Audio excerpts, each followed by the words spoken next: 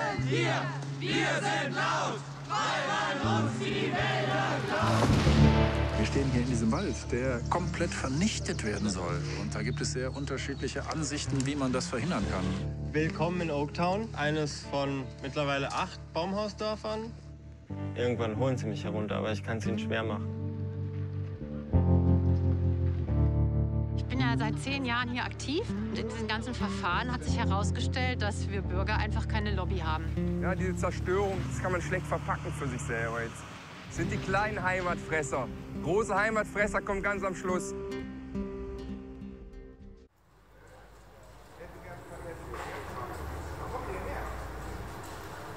Könntest du kurz umreißen, worum es in dem Film geht?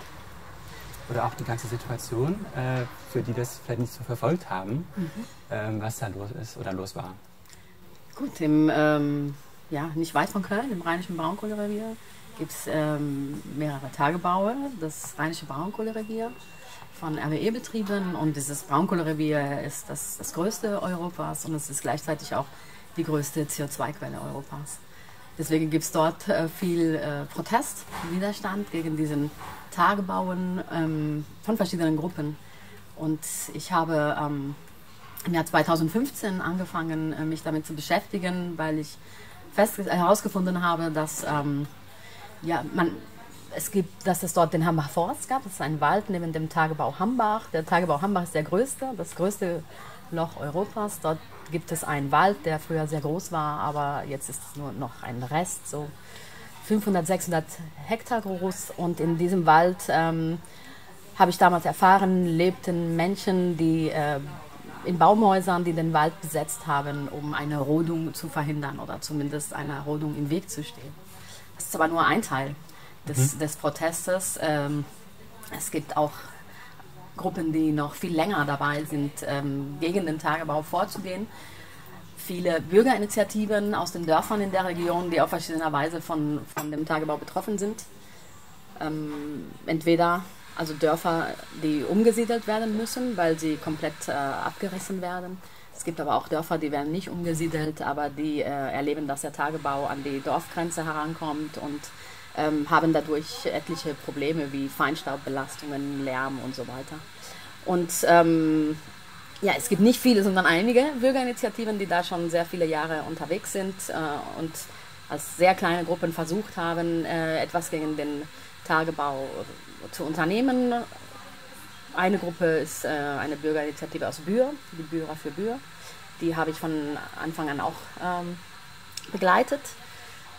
Und ähm, dann gibt es noch ähm, Menschen, die umgesiedelt werden. Ein Protagonist im Film ist ein Umsiedler, Lars Zimmer, der aber äh, das nicht einsieht, dass er vertrieben wird und der dieser Umsiedlung trotzt.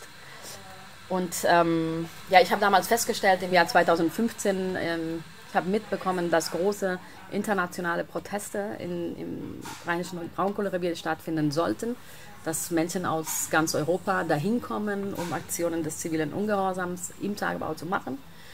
Das hat mich interessiert, weil ich das Ganze auch nicht kannte, obwohl ich wirklich schon sehr lange in Köln lebe, war mir der Ausmaß dieser, dieser, Tagebau, dieser Tagebau nicht bewusst und der, ähm, ja, der Umweltauswirkungen und Klimaauswirkungen, die das hat. Und ähm, mich hat vor allem interessiert, dass ich ähm, mitbekommen habe, dass die, diese Klimaaktivisten aus Europa und die Gruppen von Bürgerinitiativen vor Ort und Umsiedlern und Menschen vor Ort, dass da äh, versucht wird, das, äh, ein Netzwerk zu bauen und das äh, gemeinsam, ähm, um gemeinsam gegen diese Tagebaue vorzugehen. Es gibt auch Umweltgruppen wie der BUND, die noch länger dort ähm, unterwegs sind, 30 Jahre schon, äh, versuchen über legale Wege mit Klagen ähm, gegen die Tagebaue vorzugehen. Und dieses ganze Konglomerat äh, von Gruppen hat mich sehr interessiert. Vor allem hat mich die Verknüpfung interessiert. Wie arbeiten die zusammen? Jetzt Bürger aus, kleine Gruppen von Bürgern aus einem Dorf in der Provinz mit äh, radikalen Aktivisten, die den Wald besetzen. Ist das eine ähm, Konstellation, die miteinander funktioniert? Die sind so unterschiedlich. Und das, äh, das war, was mich interessiert hat und das ja, habe ich äh, damals angefangen zu filmen, 2015. Mhm. Also man kann ja sagen, also gerade so im Kölner Raum haben das ja auch viele verfolgt und sind auch solidarisch mit dieser ganzen Bewegung, auch wenn sie nicht unbedingt alle vor Ort waren. Ähm, ist, ist da jetzt noch, also würdest du sagen, was ist jetzt dein Schwerpunkt? Weil an, also gerade in Köln würde man ja sagen, das Informationsbedürfnis ist gedeckt, man hat genug Bilder gesehen. Äh, was ist sozusagen jetzt dein Ansatz, ähm, dein Schwerpunkt gewesen? Also mein Ansatz damals war, dass das überhaupt bekannt wird, weil 2015 war das äh, äh, Informationsstand sehr niedrig, auch in Köln. Also es gab nur sehr wenige kleine Gruppen, die wussten, was da los ist. Das hat sich 2018 geändert, als diese Räumungsaktion so groß war und der Protest dagegen auch so groß. Ich habe ja schon äh, viel früher angefangen, das zu dokumentieren. Und was mich von Anfang an interessiert hat, war, äh, welche Entwicklungen machen die Menschen äh, dadurch, die ich äh, begleite über mehrere Jahre. Und ähm, vor allem, ähm, ja, eben wie kommen sie zusammen, nähern sie sich aneinander an. Es gibt Gruppen, die sind sehr radikal, äh, es gibt andere, die sind gemäßigt. Also wie, wie kommen die zusammen und warum? Also was, was steht eigentlich dahinter? Wie kommen Menschen dazu, große äh, Teile ihres Lebens damit beschäftigt zu sein, ähm, so einen Widerstand zu leisten. Und die andere Sache ist natürlich, nachdem es, was ich damals nicht wissen konnte, als ich angefangen habe, dass es so ein Ausmaß ähm, bekommen würde im Herbst 2018, dass es so groß würde, der Protest, das konnte ich nicht ahnen. Äh, mir war schon klar, dass das Thema immer wichtiger sein würde, Braunkohle, aber dass es so groß wird, äh, dieser, diese Proteste im Herbst 2018, die im, im, also um die Räumung herum waren, das äh, wusste ich nicht. Und was ich dann äh, erzählen wollte mit dem Film war, wie, wie kommt es dazu? Wie kommt es letztendlich dazu, dass ein Protest, der äh, jahrelang praktisch unter Ausschluss der Öffentlichkeit äh, vor sich hin äh, passiert, dass der äh, so groß ist? Wie kommt es dazu, dass so viele Menschen immer mehr äh, sich berufen fühlten, dahin zu gehen und sich solidarisch erklären mit, mit diesen Menschen vor Ort? Also die Relevanz dieses Dokumentarfilms kommt ja auch daher, dass ähm, da durch diese mh, Problematik am Hambacher Forst und auch die ganze Kohleproblematik im Rheinland, dass, dass das auch ähm, global eine, eine wichtige, dass da jetzt eine wichtige Kehrtwende entsteht, mhm. ähm, wo, die, wo der Hambacher Forst, wo der Protest auch eine Schlüsselrolle gespielt hat. Also ich glaube, dass der Hambacher Forst ähm, mittlerweile zu einem Symbol sich entwickelt hat. Also nicht nur in Deutschland, sondern auch international. Ähm, warum das so ist, hat verschiedene Gründe. Wahrscheinlich, also ich, ich kann mir vorstellen, dass es halt ein, ein Ort ist, an dem sehr greifbar ist, wie die äh, Hauptkonflikte unserer Zeit und die, die uns in den nächsten Jahren äh, verfolgen werden, wie sich die austragen. Also es ist ein, ein sehr kleiner Ort, an dem sich sehr viel zeigt. Es gibt ein, ein Riesenunternehmen, äh, dessen Interessen ähm, durchgesetzt werden, auch politisch, auch äh, mit, mit Polizeigewalt und es gibt äh, die, das Interesse, das höhere Interesse des äh, Umweltschutzes und vor allem des Klimaschutzes. Ich glaube, dass in den letzten Jahren immer mehr Menschen klar geworden ist, dass das äh, Klimawandel ein Problem ist, das sehr, sehr nah ist, dass wir uns sehr dringend damit beschäftigen müssen.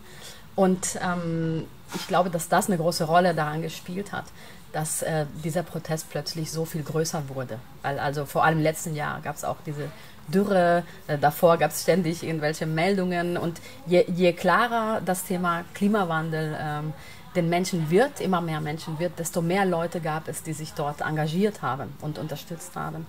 Und ähm, deswegen glaube ich, dass das sich zu einem Symbol entwickelt hat für die Art von Klimakämpfe, die auch woanders ähm, geführt werden. Das ist einfach hier sehr, sehr greifbar und auch sehr bildlich. Also allein im Film kann man das sehen, wie sich das visuell darstellt. Dieser kleine Wald und diese riesigen Mondlandschaften und das, was alles da verloren geht. Es ist ja auch nicht nur das Klima, sondern auch dieser, äh, diese komplette Zerstörung von, von Landschaften, von Heimat, von äh, landwirtschaftlichen Flächen und von Dörfern, die auch äh, sehr viele Menschen sehr betroffen machen. Mhm. Ja, wie gehen die Menschen damit um, mit dieser Zerstörung, die man ja im Film auch immer wieder mhm. sieht? Ähm, wie gehst du damit um? Wie, wie, gehen die Menschen damit um, die da leben? Also für viele Menschen in der Region ist das normal. Das haben sie schon immer gesehen. Das blendet man ab, glaube ich. Und für viele andere Menschen ist das sehr schmerzhaft. Äh, das bezieht sich vor allem auf die Menschen in umgesiedelten Dörfern. Das habe ich mal gelesen, dass äh, Psychologen das beschreiben. Äh, der Verlust der Heimat in, in dem Maße ist wie der Verlust eines äh, geliebten Menschen. Und da braucht man genauso lange, um diesen Trauerprozess durchzumachen, den man äh, braucht, um das zu bewältigen. Ähm, den Protagonisten, den ich verfolgt habe, für ihn war das besonders schwer. Aber ich habe mittlerweile viele andere Menschen kennengelernt. Es gibt ja noch fünf Dörfer, die komplett intakt sind, die diesen ganzen Prozess jetzt noch vor sich haben für die nächsten zehn Jahre. Dieser Prozess ist sehr schmerzhaft. Der ist auch in den letzten Jahrzehnten für viele Menschen sehr schmerzhaft äh, gewesen. Es gab auch, es gibt eine hohe Selbstmordrate äh, dort. Es gibt viele Menschen, die das nicht verkraften, die weg müssen. Es gibt alte Menschen, die ähm, hoffen, dass sie sterben, bevor sie umsiedeln müssen. Also es ist schon ein sehr traumatischer Prozess. Ähm, das war immer, wurde immer so gesehen als ein Problem von wenigen, den man in Kauf nehmen muss, weil äh, die Energieversorgung ähm, der Gesellschaft wichtiger ist. Das Problem ist jetzt, dass viele Menschen das gar nicht mehr so einsehen, weil sie äh, meinen, dass für die Energieversorgung es nicht mehr nötig wäre, ähm, diese Braunkohle weiter zu fördern, ähm, da es ja Alternativen gibt. Und an, auf der anderen Seite auch noch dieses ähm, Problem ist, dass die Braunkohleförderung wirklich die größte ähm, also die, die klimaschädlichere Energieversorgung ist. Und deswegen ist das für Menschen, die vor Ort sind, ähm, viel schwieriger noch geworden, diese Zerstörung zu akzeptieren, weil sie den Sinn darin nicht sehen. Ja. Du hast es ja auch als Filmemacherin erlebt, die Zerstörung. Wie, ja. wie bist du denn damit umgegangen, wenn du das so, du warst ja beim Immerater mhm. Dom, als der zerstört wurde. Ähm, wie verarbeitest du das oder wie erlebst du das? Also ähm, gerade Immerat äh, war für mich ein sehr emotionsgeladener Ort. Ich habe äh, entschieden, dass ich den Film mache an dem Tag, an dem ich zum ersten Mal in Immerat war. Und das war auch 2015 und damals war äh, das Dorf noch intakt. Es war ein sehr schönes Dorf. Ähm, und es war aber schon komplett leer. Also ein Geister, nicht komplett, es gab noch fünf, sechs Familien, die dort lebten. Und ansonsten waren alle Geschäfte zu, die Straßen leer, die Häuser äh, zu. Und es war ein Geisterdorf, das hatte ich noch nie gesehen. Das ähm, weil ich, wie gesagt, die Region nicht, nicht gut kannte bis dahin. Und das hat mich wirklich äh, sehr betroffen gemacht, weil, ähm, weil ich immer gedacht hatte, Umsiedlungen wäre eigentlich etwas, was im Prinzip der Vergangenheit gehört. Und mir war nicht klar, dass es noch Umsiedlungen gibt, die jetzt noch anfangen. Das äh, fand ich auch schwer zu akzeptieren. Und ähm, ja, ich habe dieses Dorf gesehen, als es noch intakt war. Ich habe einen Menschen begleitet, der extrem verbunden an diesem Ort war. Und ich habe das im Laufe der Jahre gesehen, wie dieses Dorf immer weiter zerstört wird. Und ich muss sagen, das ist schwer, damit umzugehen, auch als jemand, der nicht dort lebt und der nicht direkt betroffen ist. Weil eben äh, diese Sinnlosigkeit des Ganzen äh, immer im Vordergrund steht. Und ja, das sind ja auch im Prinzip Kulturgüter. Nicht nur die Kirche, sondern diese Art von Dörfer und Landschaften, die da äh, verloren gehen. Und ja, neulich war ich äh, wieder dort. Ähm, das letzte Mal war ich in Immerat gewesen, als, als wir gedreht haben, wie die Kirche abgerissen wird. Und jetzt war ich ein halbes Jahr später, nee, ein, über ein Jahr später nochmal dort. Und, ähm, und es ist fast nichts übrig. Mhm. Und ähm, ich muss sagen, das, das hat mich richtig betroffen auch gemacht. Äh, schmerzhaft. Ich kann sehr gut nachvollziehen, dass die Menschen, die dort leben, die dort aufgewachsen sind, äh, dass, dass das für die schwer erträglich ist. Mhm. Aber gut, Zerstörung ist ja nicht nur der Dörfer, ne? die Zerstörung des Hambacher Forstes habe ich auch mitgesehen. Also mhm. ähm, es wurde in der Zeit, die, in der ich ähm, dort gedreht habe, ein paar Mal gerodet, ähm, irgendwann dann nicht mehr, weil es äh, immer wieder ähm, gerichtliche Entscheidungen äh, gab, die die Rodung zumindest äh, für, für eine Saison verhindert haben. Aber zum Beispiel als die äh, Räumung war im, im letzten Jahr, Während der Räumung wurde natürlich viel gerodet, weil äh, diese großen äh, Räumungsgerätschaften nicht durch den Wald kommen, wenn da Bäume im Weg sind. Und äh, das, äh, ja, das ist auch alles sehr emotional. Also das habe ich auch miterlebt, nicht nur bei mir, sondern bei den Menschen in meinem Team, aber auch bei anderen Pressevertretern, die vor Ort waren, dass das zu beobachten und das zu filmen, äh, ja, ähm, schon auch emotional ist. Zumal ich dort auch die Menschen kenne, die, also einige Menschen kenne, die, die dort in diesem Wald leben und äh, zum, vor allem in einem Baumhausdorf, das heißt Oaktown. Und ich habe da auch über Jahre gesehen, wie sie sich dort äh, auch ein Zuhause aufbauen. Und, ähm, und dann äh, sieht man, wie das innerhalb von wenigen Stunden alles zerstört wird. Das ähm, ist ein bisschen, äh, ja, ist unbegreiflich da, teilweise. ist ja auch ein Film über zivilen Widerstand Mhm. geworden. Genau. Ähm, ja, wie hast du diesen zivilen Widerstand erlebt in dieser, in dieser Form? Das ist eigentlich das wichtigste Thema des Films, ziviler Ungehorsam. Ähm, ist der gerechtfertigt? Wann ist der wirkungsvoll? Ähm, warum gibt es Leute, die das anwenden? Was, was steht dahinter? Und vor allem, warum, das ist ja auch die Hauptentwicklung in diesem Film, gibt es immer mehr Menschen, die zivilen Ungehorsam praktizieren oder die zumindest ähm, sich solidarisch damit erklären. Und das ist, glaube ich, eine der wichtigsten Entwicklungen in diesem Film und auch in, dem, in, in den Protesten in dieser Region, dass immer mehr Menschen angesichts der starren Position von RWE und von der Politik keine andere Möglichkeit mehr gesehen haben, als ungehorsam zu werden. Und das habe ich versucht im, im Film äh, zu erzählen. Äh, wie, wenn ich das äh, beurteilen sollte, wie viel das gebracht hat, ich glaube, dass angesichts dessen, dass, dass ähm, schon sehr viele Jahre und Jahrzehnte dort Widerstand war, der, wie gesagt, unter Ausschluss der Öffentlichkeit stattfand, dass der zivile Ungehorsam die Rolle gehabt hat, äh, dieses Thema in die Öffentlichkeit zu bringen. Also man kann ja auch so, man hat das Gefühl, wenn man den Film sieht, dass sich da zwei Menschentypen auch gegenüberstehen. Die einen, die mehr so für den Status quo stehen äh, und die Regeln befolgen oder äh, die Befolgung der Regeln einfordern müssen und äh, andere jüngere Leute vielleicht, die äh, ein globales Bewusstsein haben, ein Gefühl dafür, ähm, dass sich irgendwie etwas ändern muss. Vielleicht auch nicht genau wissen, was und wie. Ähm, wie hast du diese beiden, die, du hast dich ja vor allem um den Widerstand gekümmert in dem Film. Ähm, wie hast du diese beiden Seiten erlebt? Kannst du mir die Seite ein Beispiel äh, erklären? Wen meinst du? Ähm, also zum Beispiel Polizei und Ordnungsdienste ähm, gegenüber zum Beispiel Clumsy, dem Pro- Protagonisten. Äh, das sind ja zwei verschiedene Weltbilder vielleicht oder vielleicht auch nicht. Ja, ähm, da prallen verschiedene Weltbilder aufeinander in diesem Konflikt. Ich glaube, das ist auch beispielhaft für diese Art von Konflikt. Ähm, deswegen ist auch eine Frage des Films immer, wie ist eigentlich der Zustand unserer Demokratie auch? Also wieso ist es so schwer, Entscheidungen, die man einmal getroffen hat, zu revidieren oder zumindest in Frage zu stellen, wenn sie sich als schlecht herausstellen? Und, ähm, und wie äh, beeinflusst die Tatsache, dass diese Entscheidungen nicht revidiert werden, die Entwicklung der, der Menschen und des Widerstands? Und ähm, ja, ich habe ähm, ich hatte nicht vor, einen Film zu machen, der äh, von allen Seiten gleich den Konflikt beleuchtet, sondern ich wollte einen Film über den Widerstand machen. Und ähm, die andere Seite habe ich im Prinzip äh, reflektiert über meine Protagonisten. Also im Prinzip erscheinen äh, die anderen Positionen immer in Bezug auf den Widerstand. Wie reagieren sie auf den Widerstand? Oder ähm, was tun sie, was dann wieder äh, ein, eine Reaktion im Widerstand hervorruft? Das, äh, so, so habe ich das äh, thematisch behandelt. Was ich erlebt habe, ist, dass die, ja gut, die Positionen von beiden Seiten als sehr starr erlebt werden, äh, die Position der anderen Seite. Und ähm, dass die Auseinandersetzung, die durchaus stattfindet und Dialog, der durchaus stattfindet, nicht, nicht leicht ist.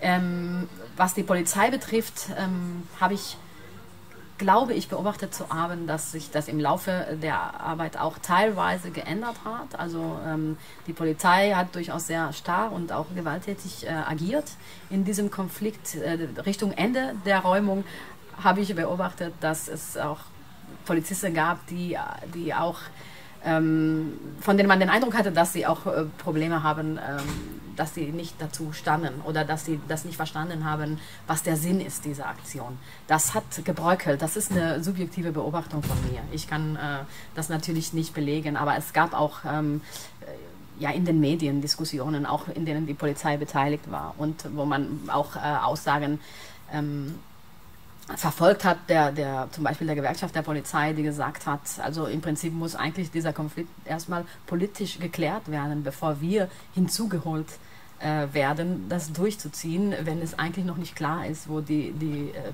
politische Richtung geht. Ähm, und, und die haben schon gefordert, dass im Prinzip es einen gesellschaftlichen Konsens gibt, bevor sie eingreifen. Das hat nicht stattgefunden. Und ähm, ich glaube, das war äh, möglicherweise für Teile der Polizisten, die dort waren, auch schwierig. Die Polizei hat natürlich äh, ihren Job und muss Befehle befolgen. Die Frage ist, wie man äh, Befehle befolgt und, ähm, und wie weit man geht. Also man hat da schon sehr viele Überschreitungen, Grenzüberschreitungen gesehen, die für mich nicht nachvollziehbar sind ähm, von Seiten der Polizei. Ähm, aber man hat auch äh, Polizisten gesehen, die, die da sich zurückgehalten haben oder von denen man den Eindruck hatte, ja, dass irgendwie ähm, müssen sie hier etwas durchsetzen, was sie auch nicht, nicht äh, 100% verstehen können. Ja. ja. also du sagtest auch schon, ähm, 2018 ist diese mediale Aufmerksamkeit mhm. ein bisschen explodiert. Du warst ja auch immer vor Ort als Journalistin. Mhm. Wie hast du das erlebt, äh, die Journalisten vor Ort? Warst du da am Anfang ziemlich allein oder hast du andere Journalisten dann auch äh, kennengelernt oder äh, und warst du da am Ende vielleicht mhm. eine von vielen, die sich irgendwie durchdrängen musste? So war das genau, ja. Am Anfang war ich ziemlich allein. Also dieses äh, Thema wurde medial verfolgt in der Region. Und ähm, also Anfang war 2015. 2015 für mich, genau. Ähm, in der Region wurde zwar darüber berichtet, ähm, meiner Meinung nach war die Berichterstattung relativ einseitig. Ähm, was die, äh, vor allem was die Aktivisten im Hambacher Forst betrifft. Aber und was die Bürgerinitiativen und den Protest oder den Widerstand in den Dörfern war, glaube ich, wurde das mehr oder weniger ähm, ignoriert, ähm, weil das letztendlich auch nicht spektakulär genug ist. Ähm, ich war da sehr lange, sehr viel alleine und ich habe auch äh, beobachtet, also ich war oft da, wenn etwas passierte, wenn es irgendeine äh, Situation gab, eine Räumung, ein Polizeieinsatz, dann kam natürlich Presse und dann gingen die auch und ähm, ich blieb. Und ich, ich blieb eigentlich immer, um zu sehen, was passiert nach der Schlagzeile oder davor, ne? was steht eigentlich dahinter. Das war mein Ansatz und das habe ich auch versucht im, im Film äh, herauszuarbeiten. Das hat sich geändert sehr im Laufe der Jahre. Immer kamen mehr dazu. Und am Ende, ja in der Zeit der Räumung 2018, musste man sich wirklich äh, durchdrängeln äh, durch die anderen äh, Pressevertreter und äh, ja, im Prinzip meine Protagonisten, die Menschen, die ich über Jahre begleitet habe, äh, waren auch ständig in, in, irgendwelchen Interviews mit, mit anderen äh, ja, Medienvertretern und es wurde immer schwieriger, sie ähm, zu bekommen. Ähm, ja, vor allem als der Konflikt eskalierte letztendlich während der Räumung das war auch eine, ähm, während der drei Wochen Räumung hat man immer eigentlich dieselben Leute getroffen, die praktisch da immer waren. Und man hat aber auch gemerkt, und das ist auch wieder meine objektive Beobachtung, dass auch die, die Pressevertreter immer mehr in den Konflikt im Prinzip reingezogen äh, wurden und, äh, und irgendwie äh, Position beziehen mussten und ähm, sich auch geärgert haben oder viel Unverständnis äh, gebracht haben. Das habe ich auch versucht im Film äh, zumindest anzureißen als Thema es ist ein Konflikt, in dem immer mehr Menschen äh, Position beziehen müssen. Man kann da sehr schlecht neutral zu ähm, bleiben. Aber wusstest du von Anfang an, dass das praktisch ähm, Kinostoff ist oder dachtest du, das ist jetzt irgendwie was fürs Fernsehen? Ich, äh, ich dachte von Anfang an, dass das ein großes Thema ist und dass ich gerne was Langes machen würde und ähm, dass es ein Kinostoff sein könnte ähm, allein visuell finde ich, dass, äh, dass, ich, dass das sehr viel hergibt. Und weil es letztendlich auch im Prinzip eine David gegen Goliath-Geschichte ist, wie man die selten findet. Ähm, aber ich habe eher so gearbeitet, wie die Produktionsbedingungen waren. Am Anfang habe ich versucht, äh, das Thema im Fernsehen zu platzieren, weil es der Weg ist, denn ich habe, ich arbeite normalerweise fürs Fernsehen. Ähm, das hat nicht funktioniert und dann habe ich angefangen zu drehen, indem ähm, mir Freunde von mir Geld gegeben haben für die ersten Drehs. Und dann habe ich gesagt, gut, ich fange jetzt an zu drehen und dann werde ich sehen, wie sich das weiterentwickelt. Danach hatte ich einen Fernsehauftrag, da habe ich eine Reportage gemacht dann äh, später kam noch ein Auftrag, denn, dann habe ich wieder eine Reportage gemacht und dann gab es äh, Momente, wo klar war, okay, jetzt ist kein Auftrag mehr da, aber ich äh, werde das weiterdrehen, weil ich immer im Kopf hatte, ich will eigentlich einen langen Film machen.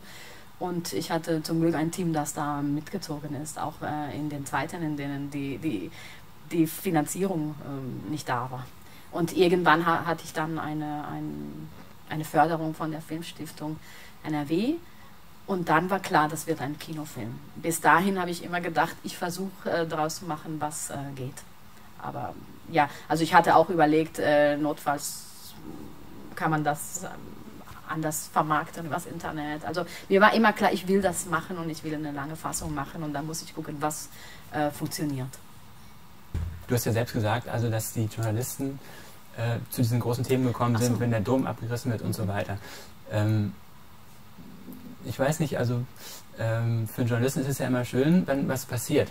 Mhm. Und hier sind es ja viele negative Dinge, die mhm. passieren. Mhm. Ähm, ist man da auch so ein bisschen zwiespältig?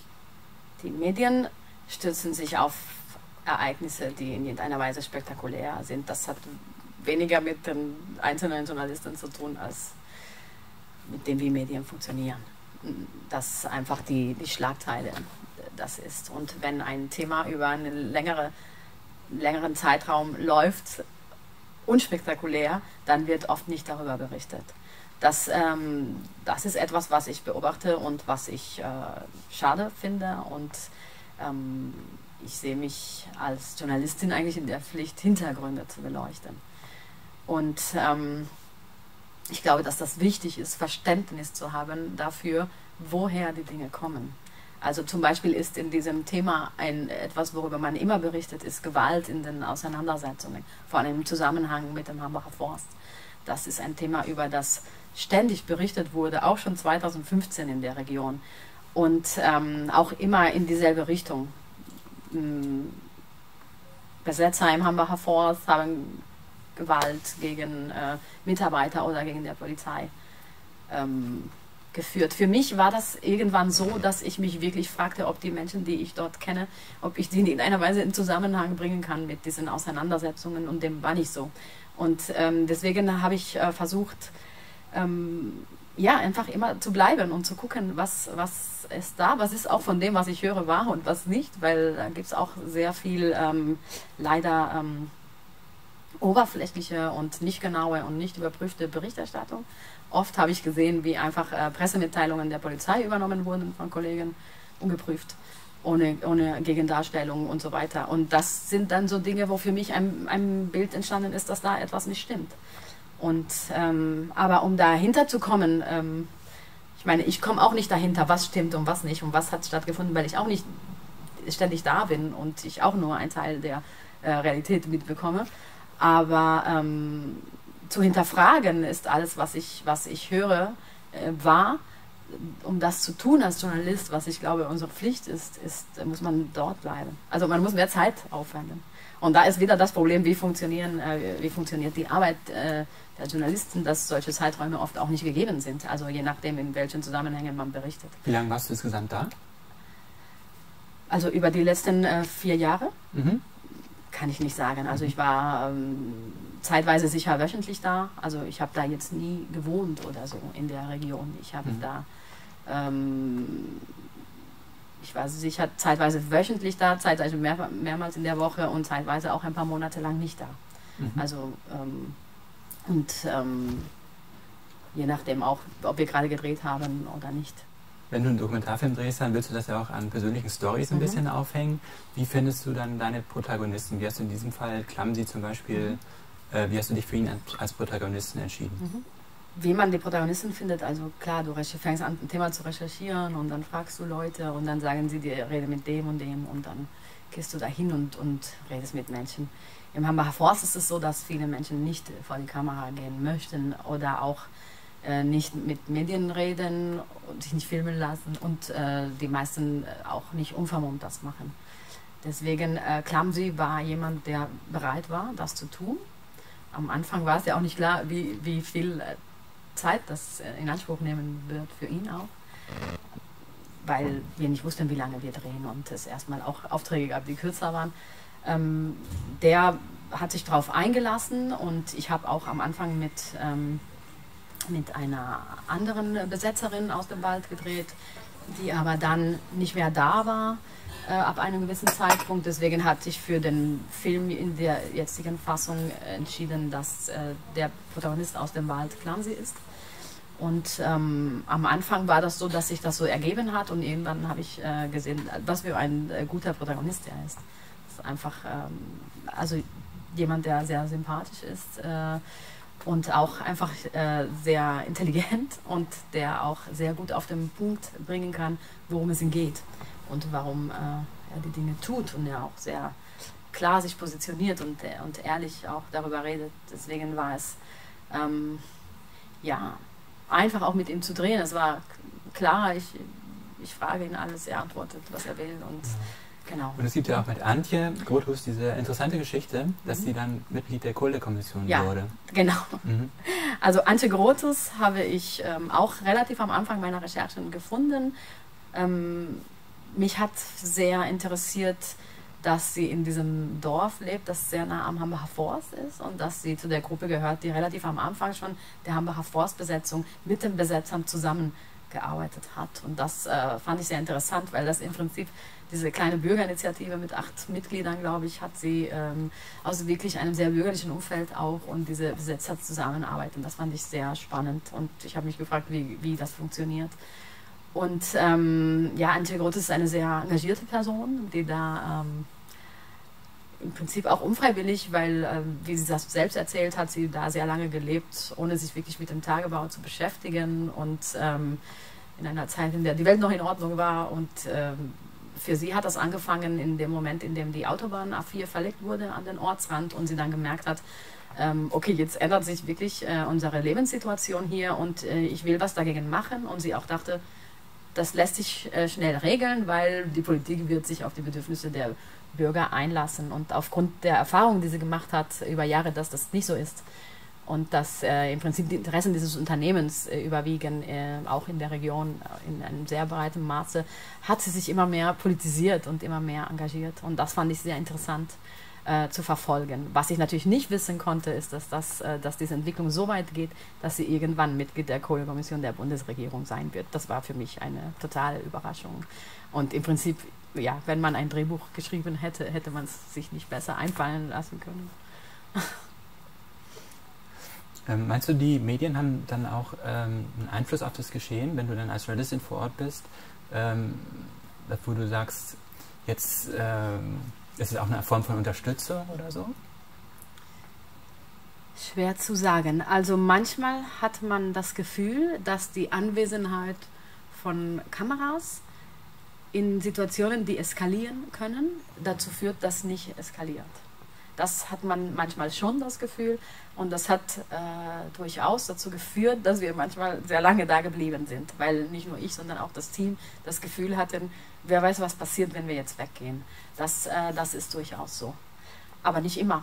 Manchmal sind auch Situationen eskaliert, obwohl es zehn Kameras vor Ort äh, gab. Da gibt es zum Beispiel eine Szene im Film, da, wo die Polizei ähm, relativ rabiat mit Pfefferspray äh, auf dort stehende Demonstranten äh, losgeht. Und da hat mich neulich jemand gefragt in einem Interview, ist das, äh, wie kann es sein, dass ihr das drehen durftet? Und ich kann das nicht beantworten, ähm, aber das war so. Ähm, es gab ja im Hambacher Wald dann auch einen ähm, Todesfall im September äh, 2018, wo ein Blogger oder Journalist, junger Journalist, ähm, von einer Hängebrücke gestürzt ist, der praktisch die Situation dort ähm, begleitet hat. Ähm, ihr wart nicht vor Ort. Wie habt ihr, ähm, wie seid ihr damit umgegangen? Wie habt ihr das erlebt? Ähm, und wie habt ihr entschieden, was ihr dann, wie ihr dann im Film damit umgeht? Also wir waren nicht vor Ort an dem Tag. Wir haben das dann erfahren, im Prinzip über die Medien. Ähm, ich war ziemlich schockiert, weil das ähm, natürlich äh, sowieso tragisch ist, dass jemand, äh, ein junger Mann, gestorben ist. Ähm, auf dieser tragischen Weise. Außerdem war das jemand, den, den ich durchaus äh, gesehen hatte, mit dem ich mich unterhalten hatte, in, in, in dem Rahmen, dass wir dort alle, die Presse- und Medienvertreter, äh, auch uns kannten ab einem gewissen Punkt. Ähm, das hat mich sehr getroffen. Das, ähm, ja, ähm, und ich habe auch lange überlegt, wie ich damit umgehe im Film. Ich habe äh, Material bekommen von anderen Leuten, die auch gefilmt hatten, die Situation, als dieser Mensch gestürzt ist. Ich habe mich dagegen entschieden, das zu zeigen. Erstens, ja, weil ich also irgendwie aus Respekt wollte ich auch diese Situation nicht zeigen. Ich weiß nicht, wie, wie traumatisch das ist für, für Betroffene, für die Familie und so weiter. Und außerdem wollte ich jetzt nicht ähm, implizieren, dass wir das gefilmt hätten. Wir waren einfach nicht da. Und ähm, ich habe äh, teilweise auch Material überlegt zu benutzen äh, von Situationen, die von anderen Menschen gefilmt wurden, äh, während ich nicht da war. Und am Ende habe ich das nicht gemacht, weil letztendlich diese Geschichte durch meine Perspektive erzählt wird. Und ähm, ich wollte nicht äh, so tun, als ob wir äh, dabei gewesen wären, waren wir nicht. Wir, ich habe dann äh, mich entschieden, diesen, ähm, diesen Todesfall äh, so darzustellen, wie er sich auch für die, für die Protagonisten, also in der Reaktion der, der Protagonisten und in der Reaktion der, der, des Widerstands und der, und der Entwicklungen, die es dann gab. Und ich hatte ja erzählt, äh, dass der Film halt auch die, die rote Linie heißt, weil es auch immer um Grenzüberschreitungen geht und welche Auswirkungen sie haben im Rahmen dieses Konflikts und dieses Protestes. Und das war zum Beispiel, äh, dass jemand dort gestorben ist äh, wegen eines Einsatzes, den viele Menschen als komplett ähm, maßlos und, und absurd und sinnlos äh, erlebt haben, dass dann äh, jemand dort gestorben ist, auch aufgrund der Situation, dass sehr viel Stress äh, dort produziert wurde und, ähm, und er sich wahrscheinlich aufgrund dieses Stresses nicht äh, ähm, gesichert hat, so wie ich das verstanden habe, ähm, dass das ein Punkt war, wo noch mehr Leute äh, den Schritt gemacht haben in den zivilen Ungehorsam. Und ich glaube, das ist halt insofern ein wichtiger Schlüsselmoment auch im Film, der das erzählt, dass eben diese Art von, von Überschreitungen von roten Linien dazu führt, dass, dass die Leute sich nicht mehr identifizieren mit, mit der Politik oder mit dem Staat und, ähm, und bereit sind, auch ungehorsam zu werden. Also was ist für dich das, der Unterschied zwischen dem selbst erlebt haben und das dann später als Bild alles, und Bild und Ton zu sehen? Ähm, kann, können die können das Bild das dann nochmal so transportieren oder braucht so eine Dokumentation dann immer so die persönliche Sicht des Protagonisten oder eines Protagonisten? Noch, Nochmal, was meinst okay. du genau? Also, ähm, du hast das ja alles auch erlebt. Ja. Ähm, du hast das ja dann auch als Bild und Ton gesehen in mhm. deinem Dokumentarfilm, als du es geschnitten hast. Ja. Ähm, in dir wird das natürlich an alles nochmal wach, das mhm. Erleben. Aber für den Zuschauer ist es äh, auch, auch, auch als Kinofilm praktisch nochmal, glaubst du, erfahrbar oder ist das doch was anderes, das persönlich zu erleben? Man versucht ja, ich versuche ja mit, mit dem Dokumentarfilm etwas zu erzählen, was, was passiert ist oder was ich so erlebt habe, wie es passiert ist. Und das kann man in gewissem Maße nur reproduzieren. Ähm, für den Zuschauer, wenn es mir gut gelungen ist, dann wird er ein Gefühl dafür bekommen, was dort vor Ort war, natürlich äh, durch meinen Fokus äh, gefiltert und durch den Fokus der Protagonisten. Inwiefern das jetzt ähm, ein, ein also ich habe ich hab, äh, versucht in groben Zügen das Wesentliche dessen, was, was ich dort als das, die entscheidenden Ereignisse, also jetzt nicht chronologischen Ereignisse, sondern die Entwicklung, die gesellschaftliche Frage, die gesellschaftliche Entwicklung, die ich dort gesehen habe, in meinem Film äh, zu erzählen. Das muss jemand anderes beurteilen, inwiefern das gelungen ist.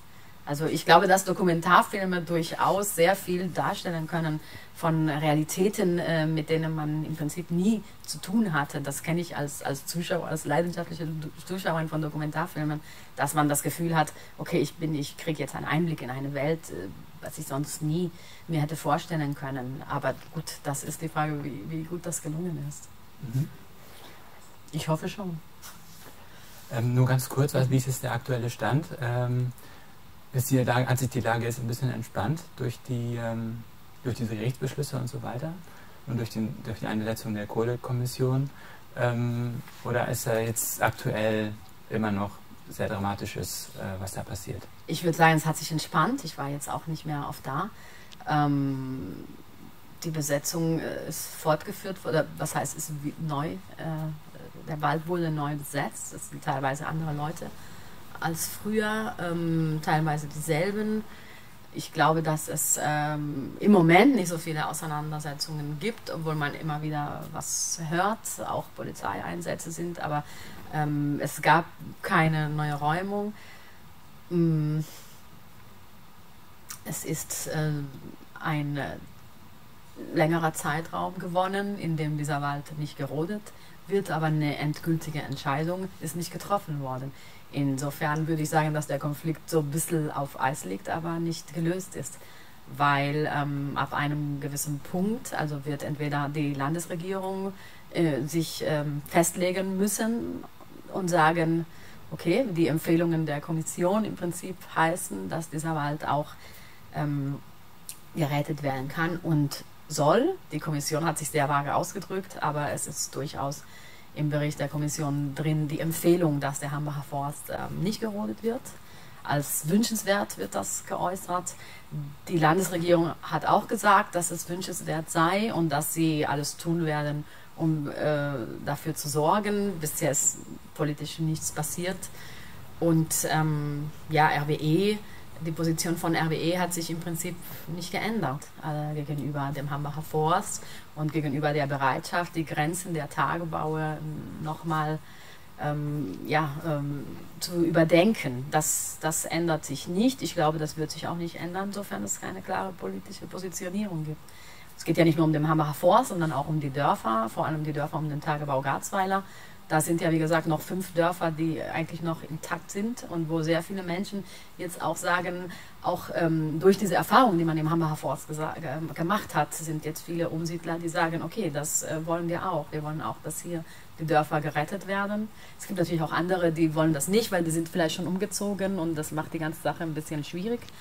Aber ähm, auch dort ist es so, dass es eine klare dass eine klare Positionierung fehlt. Und ich glaube, so, solange das nicht politisch geklärt wird, äh, wird irgendwann der Konflikt wieder äh, aufflackern.